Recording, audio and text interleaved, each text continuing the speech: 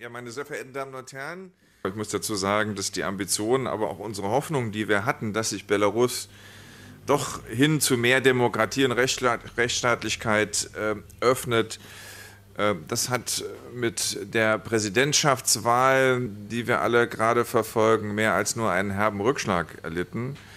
Wir hatten im Vorfeld zusammen mit Frankreich und Polen äh, freie und faire, transparente Wahlen gefordert. Und am gestrigen Tag und auch im Vorfeld der Wahlen war davon wirklich überhaupt nichts zur Kenntnis zu nehmen. Stattdessen haben wir Gewalt, Einschüchterung und Verhaftung mit äh, bezeugen müssen.